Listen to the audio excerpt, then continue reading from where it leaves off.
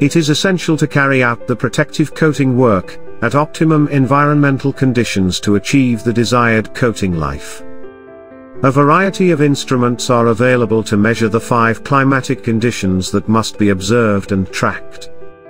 One of the essential duties of the coating inspector is to measure and record the environmental conditions before the coating work start, and at regular intervals during the surface preparation, coating application, and curing. This video will make you learn to measure environmental temperatures using the digital dew point meter.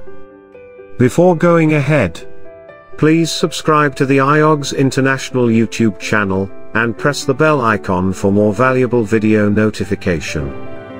This battery-operated instrument, has a surface and air temperature probe, humidity probe, various soft keys, and a digital screen that display the temperature reading in degrees Celsius or degree Fahrenheit. The instrument can measure and record, relative humidity, air and dew point temperature, surface temperature, and the difference between the surface and the dew point temperatures. To get started, press the on-off key to switch the instrument on, the instrument will start measuring the current temperature of the environment as soon as it is switched on. You should wait for the temperature to stabilize before you record the air and dew point temperatures, and the relative humidity.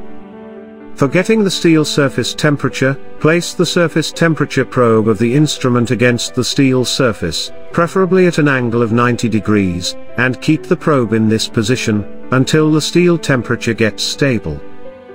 Press the hold key to hold the temperature on the screen once the temperature stabilized, and record the steel temperature and the difference between the dew point and the steel temperatures. You should now refer to the project coating specification to ensure the recorded temperatures are within the specified range. The coating work should not be carried out if any recorded temperature is found outside the range set by the coating manufacturer and or coating specification. Please like and share, if you found this video useful, also, don't forget to subscribe to IOGS International YouTube channel, and press the bell icon for more valuable video notification. You can also visit the Institute's website to know more about the training and certification courses offered by the Institute for Oil and Gas Sector, IOGS.